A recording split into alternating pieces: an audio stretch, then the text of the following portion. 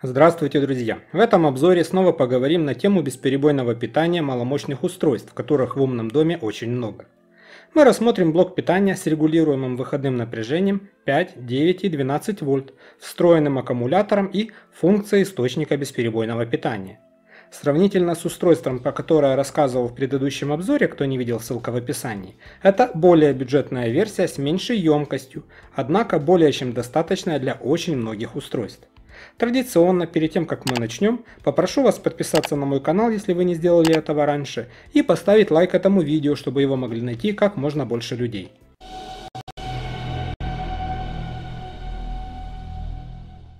Модель DU2S25, тип аккумуляторов литий-ионные, заявленная емкость 18,5 Вт-часов.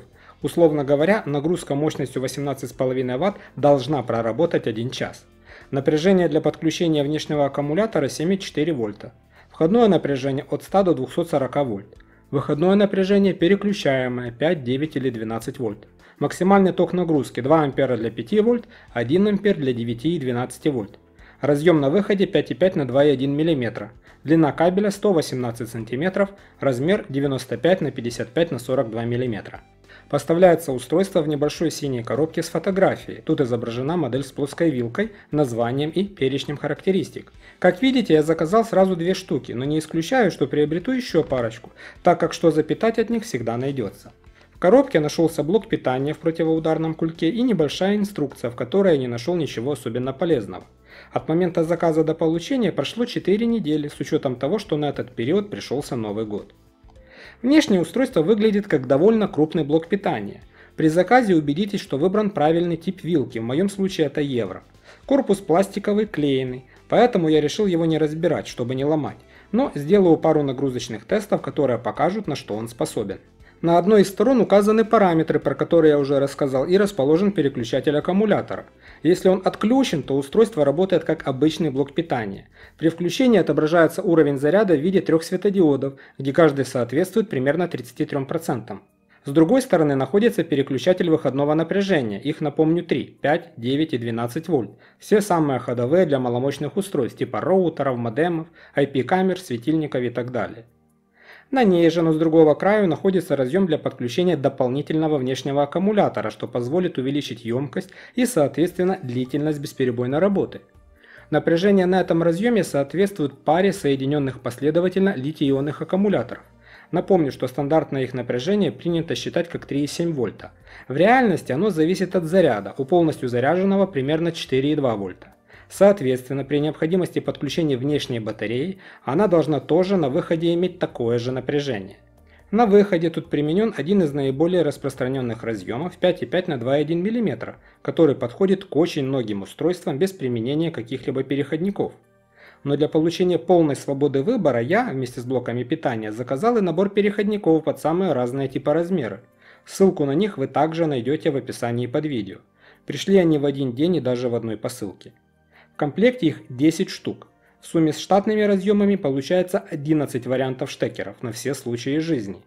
К слову говоря, заказал я и переходники на USB-C, так как есть в планах установить эти бесперебойники на мои сетевые ZigBee координаторы ZigStar, но на момент съемки видео они еще не приехали, ссылку тоже оставил в описании. Конструкция всех переходников одинаковая. С одной стороны входной разъем 5,5 на 2,1 мм, в который подключается разъем блока питания. С другой типа размер другого формата.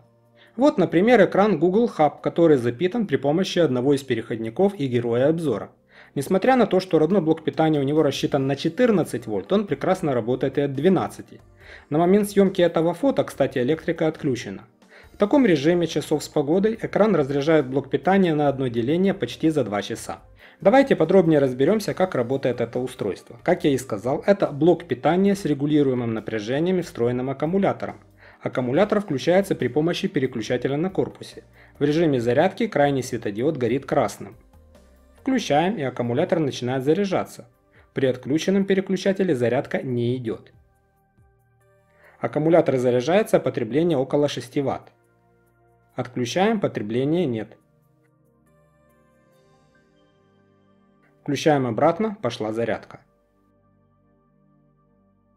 Если при включенном аккумуляторе крайний светодиод гаснет, значит аккумулятор полностью заряжен. Попробуем с нагрузкой. Сейчас аккумулятор отключен. Включаю в розетку, устройство работает в режиме обычного блока питания. Если внешнее питание отключается, нагрузка тоже.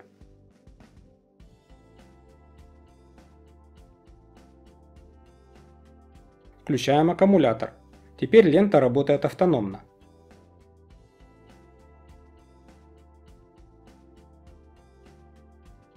По небольшому изменению яркости ленты видно, когда она работает от сети, а когда от аккумулятора. Я проведу два теста и в этом мне поможет специальная электронная нагрузка, ссылку на нее вы тоже найдете в описании под видео. Она фиксирует ток разряда, в данном случае это 1 ампер, он отображается на нижнем экране. На верхнем поочередно отображается напряжение на блоке питания и значение в ампер-часах и ватт-часах. Я выбрал режим 9 вольт. На старте по факту даже немного больше. Мощность при этом соответственно 9 Вт. Через некоторое время, как видим, блок питания уже отдал чуть более 2 Вт-часов, напряжение просело ниже 9 вольт. Также снизилась и мощность, ток электронная нагрузка стабилизирует.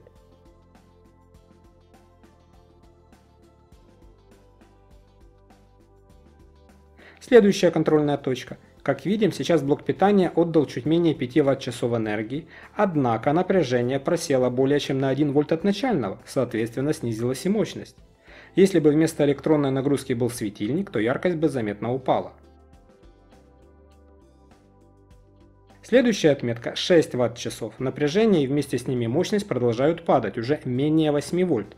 Уже на этом этапе можно сделать вывод, что на максимальном заявленном токе в 1 А для напряжения 9 вольт блоку питания откровенно тяжело. Что тут говорить о 2 амперах для 5 или 1 ампере для 12 вольт.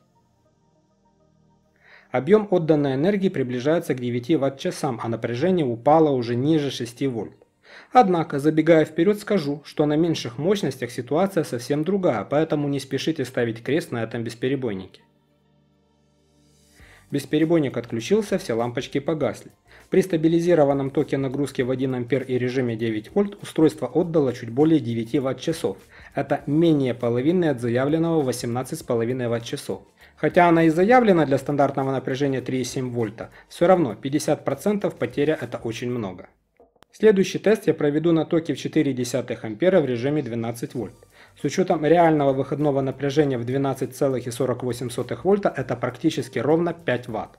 Большинство бытовых роутеров IP-камер потребляют как раз в этих пределах. Устройства типа шлюза, LAN-координаторов и тому подобное намного меньше. Первая контрольная точка на 2,5 Вт-часах. Просадки по напряжению нет вообще. Как было 1248, так и осталось. Мощность стабильная 5 Вт.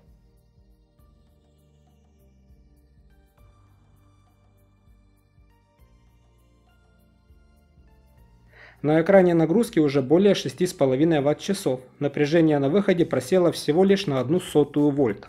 Как видим, на такой нагрузке устройство чувствует себя гораздо увереннее. Ничего не изменилось и на 8 Вт-часах, напряжение 12,47 вольта, мощность 5 Вт. Никаких претензий к блоку питания. Он начал сдавать позиции еще на одну сотую вольта только после прохождения отметки в 10 ватт-часов, что, кстати, больше суммарного показания при предыдущем тесте. Это нормально, так как замер уровня заряда осуществляется по напряжению, а на такой нагрузке оно падает гораздо медленнее и плавнее.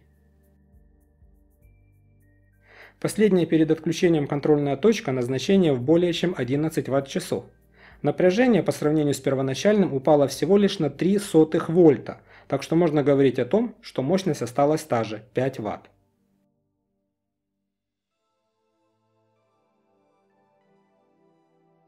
Результат 11,22 Вт-часа. Намного лучше предыдущего теста, однако если говорить о заявленной емкости 18,5 Вт-часов, это лишь 60%.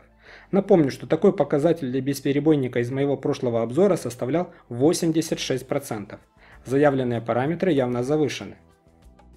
Впечатления от устройства двоякие. К плюсам стоит отнести удобство использования, так как это и блок питания, и бесперебойник в одном корпусе. Доступны все самые популярные напряжения 5, 9 и 12 вольт.